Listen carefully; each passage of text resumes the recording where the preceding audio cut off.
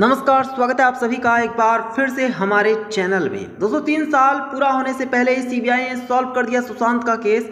कौन कहता है कि सीबीआई की टीम काम नहीं करती है? जी हाँ, आप सभी ने देखा होगा कि अक्सर सीबीआई की टीम पर कुछ लोग सवाल उठा देते हैं, बिना सोचे समझे। ये कह देते हैं कि सीबीआई की टीम तो काम करती ही नहीं है। यहाँ तक कह देते हैं कि सीबीआई की टीम जो जाँच कर रही है सिर्फ़ नाम मात्र के, यहाँ तक कि नेता लोग जो हैं वो तो खास करके सीबीआई पर उंगली उठाने से बाज नहीं आते हैं। लेकिन अब आपको जानकर जानकर हैरानी होगी कि हमारी सीबीआई की टीम ने ही दोस्तों ऐसा न्याय कर दिया है, जिससे हर किसी की आँखें फटी की फटी रह गई हैं और सभी को समझ में आने वाला है कि सीबीआई को कभी भी हल्के में नहीं लेना चाहिए।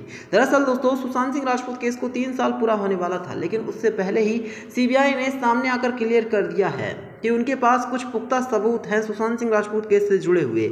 ऐसा नहीं है कि सीबीआई ने जाँच ही बंद कर दिया है। सीबीआई ने क्लियर कर दिया है कि जाँच पूरी तरह से चालू है और ये केस आज भी सुशांत सिंह राजपूत केस में न्याय दिलाने के लिए पुख्ता सबूत हमारे पास में है। हालाँकि आपको बता दें सीबीआई की टीम जो है, उन्होंने सबूत के बारे में नहीं बताया कि क्या सबूत उनके पास है। क्योंकि सीबीआई की टीम समझदार है और वो बहुत अच्छे से इस बात को समझती है कि जो कातिल है, वो किस तरह से सबूत को मिटाने में या फिर सबूतों के साथ छेड़छाड़ करने में सक्षम होते हैं। क्योंकि कातिलों को भी सबूत के बारे में पता होता है कि उनका क्या सबूत कहाँ पर छूटा है। ऐसे में सीबीआई की टीम सबूतों को सबके सामने तो उजागर नहीं कर सकती है, लेकिन एक बात पूरी तरह से क्लियर है कि सीबीआई की टीम सुशांत के केस को सुलझा चुकी है और जल्द ही अब अनाउंसमेंट होगा कि सुशांत के साथ क्या हुआ था। तो यही था वीडियो, में वीडियो को लाइक करना, इसे शेयर करना और चैनल को सब्सक्राइब करना।